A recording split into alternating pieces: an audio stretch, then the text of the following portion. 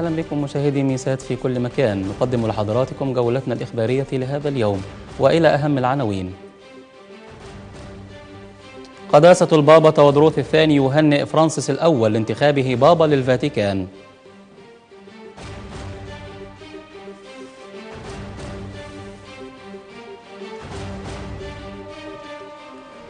الكنيسة الأرثوذكسية تبدأ اليوم مراسم إحياء الذكرى الأولى لنياحة مثلث الرحمات البابا شنودة الثالث.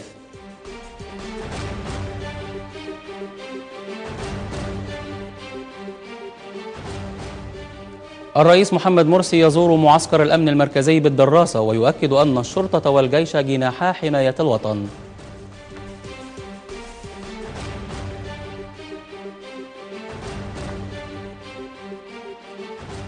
والآن إلى حضراتكم التفاصيل ونبدأها بمجموعة من أخبارنا الكنسية الهامة.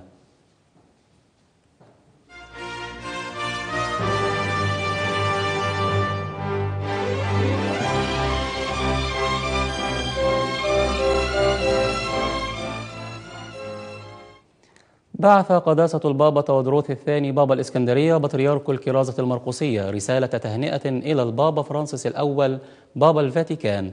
وأكد البابا تواضروس في الرسالة فرحة الكنيسة الأرثوذكسية بخبر انتخاب البابا فرانسيس متمنيا له رعاية صالحة في خدمة الكنيسة ودوام الصحة. وأعرب قداسته عن تطلعه إلى العمل مع كنيسة الفاتيكان من أجل مجد المسيح في كنيسته المقدسة. تبدأ كنيستنا القبطية الأرثوذكسية اليوم ولمدة ثلاثة أيام إحياء الذكرى الأولى لنياحة مثلث الرحمات البابا شنود الثالث والذي رحل في السابع عشر من مارس العام الماضي. وتقيم أسقفية الشباب بالكاتدرائية المرقسية بالعباسية احتفالية مساء اليوم تعرض فيها موادا فيلمية عن حياة وعظات وأعمال البابا الراحل. فيما يفتتح قداسة البابا تودروث الثاني غدا متحفا خاصا من البابا شنود الثالث في المركز الثقافي القبطي يحوي بعضا من مقتنياته كما يفتتح معرضا لصوره وكتبه. كما ستقيم الكاتدرائية احتفالا مساء الأحد يسلم خلاله البابا تودروث الثاني جائزة باسم البابا شنودة للحكمة والشفقة إلى أحد العلماء الأمريكيين. ويشهد دير أنبا بشوي بوادي النطرون حيث يرقد جسد البابا شنودة يوم الثلاثاء المقبل قداسا خاصا يرأسه البابا تودروث بحضور عدد كبير من الأساقفة.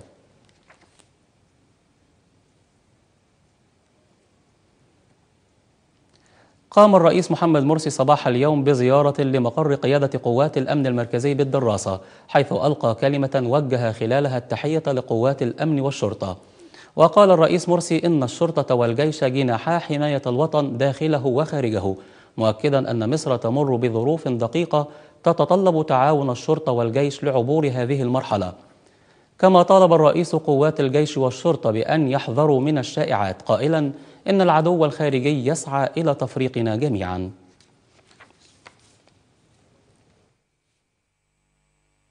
هذا يوم مبارك هذا يوم طيب هذا يوم الجمعة وأنا معكم الآن. أشعر بأن مصر كلها تنظر إلينا تنظر إليكم يا أبناء مصر.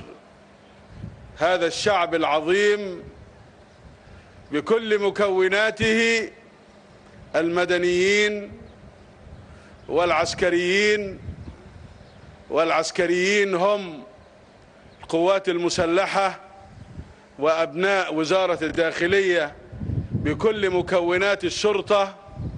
والعاملين فيها هذا هو الشعب المصري بكل مكوناته.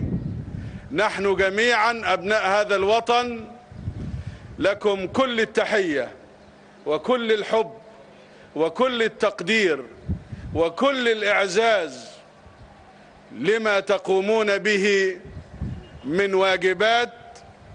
وأود أن أذكركم جميعا وأذكر كل أبناء مصر بمكوناتها برجالها ونسائها المسلمين والمسيحيين الشعب المصري.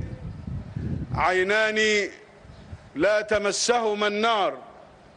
عين بكت من خشية الله وعين باتت تحرس في سبيل الله. من ناحية أخرى أكد الرئيس مرسي التزامه بكل حقوق شهداء وأهالي بورسعيد في الأحداث الأخيرة التي بدأت منذ السادس والعشرين من يناير الماضي. وقال الرئيس في رسالة تلفزيونية إلى أهالي بورسعيد مساء أمس إنه ملتزم تجاه محافظة بورسعيد وأهاليها بعودة المنطقة الحرة. وأوضح مرسي أن التحقيقات جارية لمعرفة من المسؤول عن تلك الأحداث والذي يحاول من خلالها التفريق بين المصريين.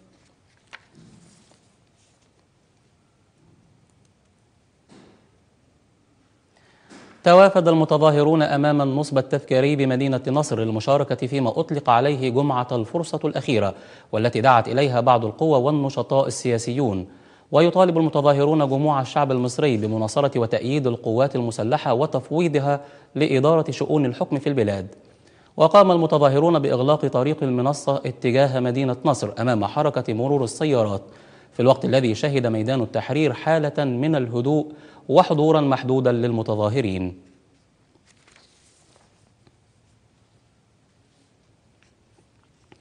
تجري نقابة الصحفيين اليوم انتخابات التجديد النصفي على مقعد النقيب وذلك بعد فشل اكتمال نصاب الجمعية العمومية الأولى لإجراء الانتخابات مما أدى إلى تأجيل انعقادها مدة أسبوعين. ويتنافس على منصب النقيب كل من محمد إبراهيم الإسكندراني عن جريدة الجمهورية وضياء رشوان عن جريدة الأهرام وعبد المحسن سلامة مدير تحرير جريدة الأهرام ومحمد المغربي عن جريدة الشعب ونور راشد عن جريدة الجمهورية. ويتضمن جدول أعمال الجمعية العمومية غدا التصديق على محضر الجمعية العمومية مارس 2012 والتصديق على تقرير مجلس النقابة والتصديق على الحساب الختامي للسنة المنتهية وإقرار مشروع الميزانية التقديرية للعام الجاري.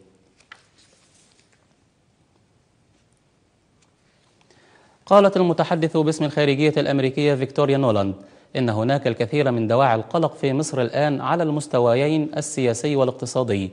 ونوهت نولاند إلى أن وزير الخارجية الأمريكي جون كيري أشار إلى ذلك بوضوح خلال زيارته إلى مصر مؤخرا. وعلى الجانب الانتخابي قالت نولاند إن هناك قدرا كبيرا من القلق حول كيفية مضي الانتخابات قدما. وأكدت ضرورة أن تتواصل الحكومة المصرية مع شريحة واسعة من المواطنين من جميع الأطراف بشأن الجانبين السياسي والاقتصادي على حد سواء.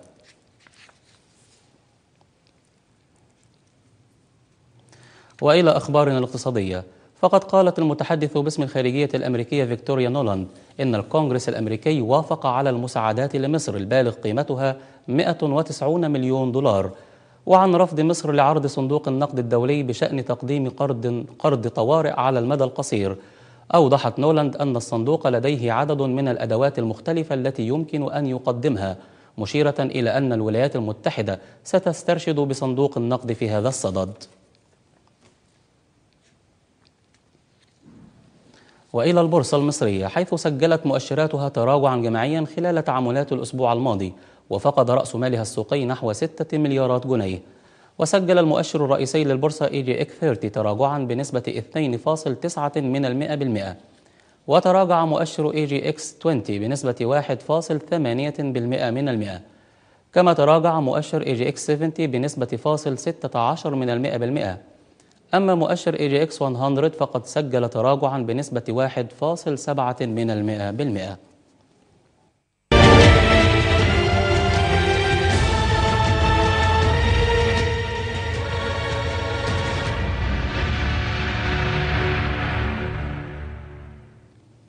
وننتقل إلى الشأن السوري حيث دعا نشطاء معارضون إلى التظاهر اليوم تحت شعار عامان من الكفاح في اليوم الذي تدخل فيه الاحتجاجات عامها الثالث ويشهد إجراءات أمنية مكثفة بدمشق.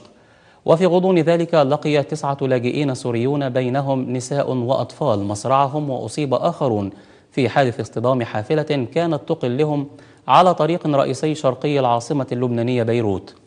من ناحية أخرى أعرب مجلس الأمن الدولي عن عميق قلقه إزاء تبادل إطلاق النار على الحدود بين لبنان وسوريا. في وقت تشهد المناطق الحدودية اشتباكات بين الجيش السوري وفصائل المعارضة المسلحة.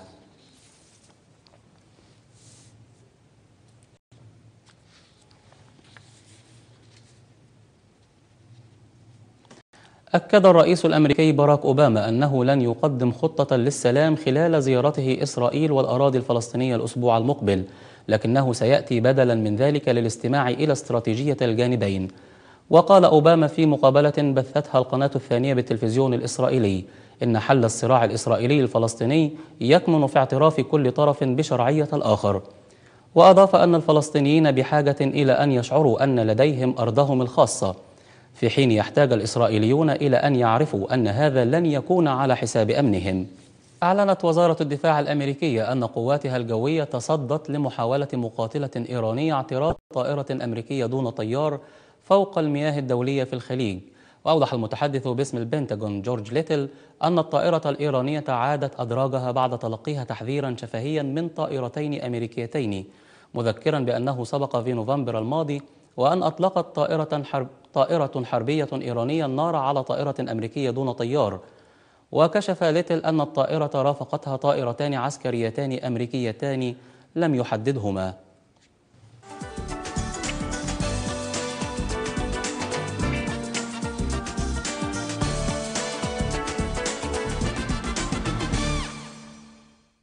يدخل فريق الكرة بالزمالك في السادسة مساء اليوم تحديا جديدا في دوري أبطال أفريقيا عندما يستضيف فريق فيتا كلوب الكونغولي في ذهاب دور الاثنين والثلاثين للبطولة على استاد برج العرب بالإسكندرية. وتقام المباراة في حضور ثلاثة ألاف متفرج حيث يحاول الزمالك مواصلة مسيرة الانتصارات التي حققها في الفترة الماضية من خلال الفوز في ست مباريات متتالية بالدور المحلي. كما يبحث الزمالك في مباراة اليوم عن فوز مطمئن يبعد الفريق عن الضغوط قبل لقاء الإياب المقرر له مطلع إبريل المقبل في الكونغو. والآن إلى النشرة الجوية والتي نستعرض من خلالها أحوال الطقس غدا كما يتوقعها خبراء الأرصاد الجوية. حيث تنخفض درجات الحرارة ليسود طقس معتدل على السواحل الشمالية دافئ على الوجه البحري والقاهرة حتى شمال الصعيد. حار على أقصى جنوب الصعيد نهارا مائل إلى البرودة أول الليل بارد آخره. يصاحب ذلك نشاط للرياح الشمالية الغربية على أغلب الأنحاء. تكون مثيرة للرمال والأتربة على جنوب البلاد مما يؤدي إلى تدهور الرؤية الأفقية واضطراب الملاحة البحرية. وتظهر السحب المنخفضة والمتوسطة على شمال وجنوب البلاد متكاثرة غربا وعلى سلاسل جبال البحر الأحمر حيث الفرصة مهيئة لسقوط الأمطار الخفيفة هناك. وإلى حضراتكم بيان بدرجات الحرارة الصغرى المتوقعة الليلة والعظمى غدا على مختلف أنحاء الجمهورية. في القاهرة الثغرة 13 العظمى 23 وادي النطرون 11 22 الإسكندرية 14 20 مطروح 12 18 طنطا 12 22 المنصورة 13 24 دمياط 14 19 بورسعيد 14 22 الإسماعيلية 21 36 السويس 13 24 سانت كاترين 10 22 شرم الشيخ 19 31 الغردقة 18 29 المنيا 13 25 أسيوط 11 25 سوهاج 20 39 قنا 20 38 الأقصر 19 34 وأخيرا في أسوان 18 36